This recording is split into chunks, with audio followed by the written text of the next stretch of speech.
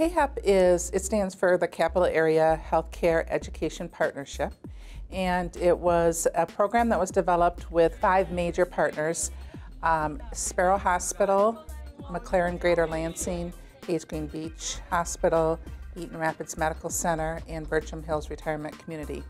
And they were in partnership with our education system to help students that are interested in professional level careers in healthcare um, explore those um, areas to see what they truly are.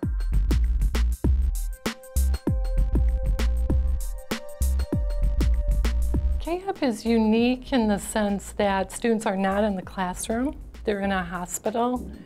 They uh, are treated as professionals in a hospital environment. They wear scrubs every day, they have a name badge that identifies them. They're not in high school for that, that period of time that they're in class.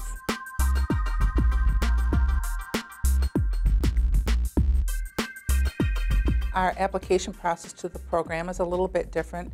Um, the students fill out an application and then we interview every student that is interested in the program to really sit down and get to know them, get to know what their goals are for themselves, make sure that they understand what CAHEP is and what CAHEP isn't, and make sure that this is going to be a good fit for them and have value for them to um, spend their, a year of, half a day of their year of high school with us um, looking at health careers.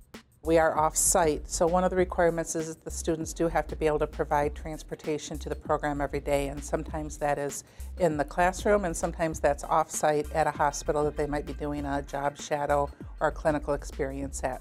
We also require that they be on track to graduate because our goal for the program is that they are going on to college to, to look at a professional degree. They will be out with the patients and with our partners' customers. Um, and so they do need to be able to be appropriate and professional and, and have some good communication skills.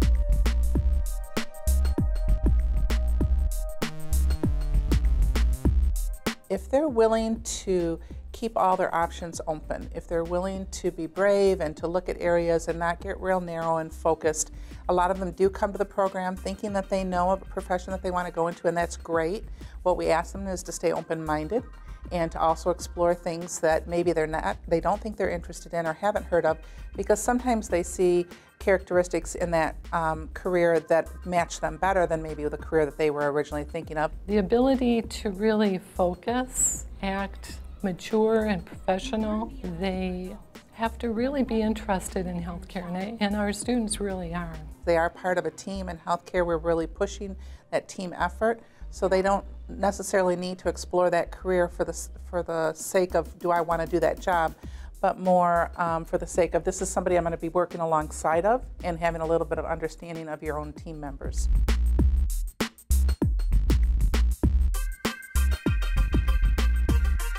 We do BLS through the American Heart Association. We do the BLS at the healthcare provider level, so they'll be certified in CPR. We also um, certify them in first aid. In the very first six weeks, we do a bunch of certifications to get them ready to go out into the hospital safely and follow.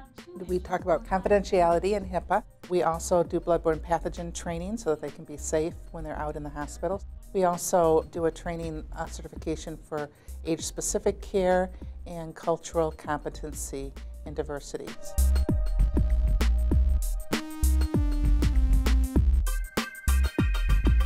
The students have an opportunity to go out at, at a minimum on, once a month into the hospital um, for job shadows. And there's different careers. There's also different careers within different environments. So because we have five partners, a student can look at not only a specific career, but they also, through another job shadow, could look at that same career in within a different environment.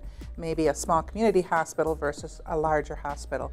The nice thing about the job shadows, though, is that it's authentic. It's real. It's not a simulation.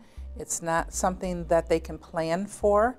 Um, and so, and that's a big part of what healthcare is. So it gives them that feeling, no matter what they see when they're out following with that worker, um, they get that spontaneous and that ability to go with the flow. They understand and they see what it takes to work in healthcare. And that is a characteristic that some of them really struggle with. And so we talk about, we have that conversation this is something that you really want, want to pay very close attention to because it's going to be required in healthcare no matter what.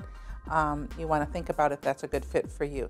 They also go out with mentors and they get an opportunity to go with the same professional. It's an area that they're interested in, but it's with the same professional every month. So they get to know that person a little bit deeper um, relationship. They ask better questions. They feel more part of that unit because they go back or return to that same unit. So they also get those opportunities to feel just a little bit part of the system and not just an onlooker or an observer um, through their mentor um, opportunities too.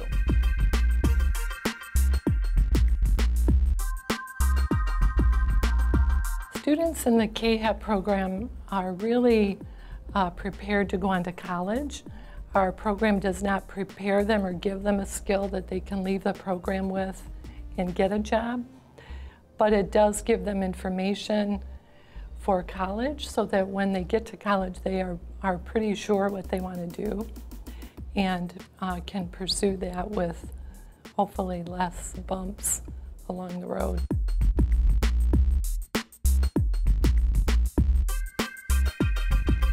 Students see a range of things. They see the happiest moments, like a child being born. They see sometimes the saddest moments, a patient passing away. Um, they see the in between. They, they see um, children. How, how do we take care of children differently? Um, a squirmy child in x ray versus a person in pain in x ray that, that it's hard for them to move. So they get to see the real world. And, and one of my students just, I asked the students at the end of the year, tell me one of your most memorable moments when you were out on a job shadow. And one of the students told me, it was the it wasn't what the situation was it was what the staff member was doing. And she said i got to see a nurse provide hope to a patient when there was no hope. And she and and that was what was really neat is because it isn't just so much what you see it's it's the whole picture. And, and that's what makes it really rich